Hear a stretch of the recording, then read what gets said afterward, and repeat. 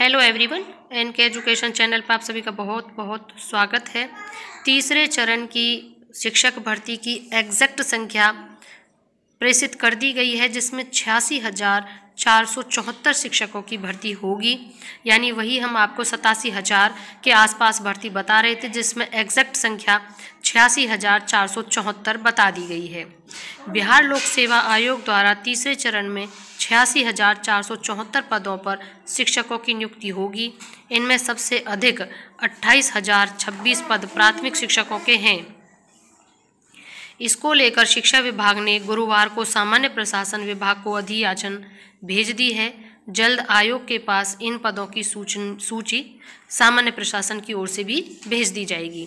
तीसरे चरण की नियुक्ति के लिए आयोग के द्वारा अभ्यर्थियों से ऑनलाइन आवेदन प्राप्त किए जा रहे हैं, जिसका हमने कि आपको आवेदन किस प्रकार करना है, फॉर्म कैसे भरना है, उसको पहले ही बता दिया था। अगर आपने वो वीडियो नहीं देखी है तो आप उसे देख सकते हैं, जिससे आपको फॉर्म फिलिंग में किसी भी प्रकार की परेशानी नहीं आएगी। मार्च में इसकी परीक्षा होनी है। इसको लेकर पदों की सूची शिक्षा विभाग द्वारा अभी नहीं भेजी गई है। जिलों से विषय और कक्षावार पदों का रोस्टर क्लियर प्राप्त होने के बाद विभाग ने इसकी सूची सामान्य प्रशासन को भेजी है। नए वित्तीय वर्ष की शुरुआत में ही अप्रैल में इन शिक्षकों की नियुक्ति कर दी जाएगी। मालूम हो कि चौथे चरण की शिक्षक नियुक्ति अगस्त 2024 में होने की घोषणा भी शिक्षा विभाग के अपर मुख्य सचिव के के पाठक द्वारा की जा चुकी है।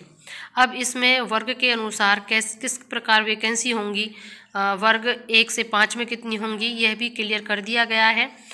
इससे आप सभी को यह भी सहूलियत रहेगी कि कितने आवेदन आते हैं तो आपका जो स्ट्रगल होगा वह कितना है कि ज़्यादा होगा, क्योंकि जितनी ज़्यादा आपके फॉर्म आएँगे, उतना ज़्यादा ही कंपटीशन होगा। तो इसमें यहाँ पर ये देख लेते हैं हम। ये है पहली से पाँचवीं का अट्ठाईस हज़ार छब्बीस।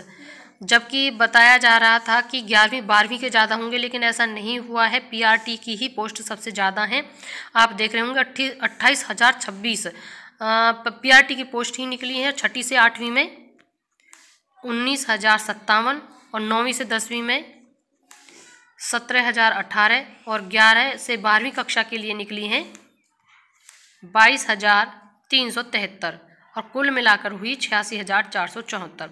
इस प्रकार सभी जो रिक्तियाँ थी, उनका ब्यौरा कर दिया गया है और बाकी फॉर्म कैसे भरना है, उसमें क्या क्या सावधानियाँ आपको करनी है, एडिट होगा या नहीं होगा और जो सिलेबस है वो कैसा है, ये सभी टी आर ई थ्री से रिगार्डिंग मैंने इनका वीडियो बना के इस चैनल पे डाला हुआ है। अगर आपने नहीं देखा है तो वो ज़रूर देख लें ताकि आपको फॉर्म फिलिंग में किसी प्रकार की प्रॉब्लम ना हो। और हमारे चैनल के साथ बने रहिएगा ताकि टी आर ई थ्री से रिलेटेड प्रत्येक अपडेट आप तक पहुँचता रहे।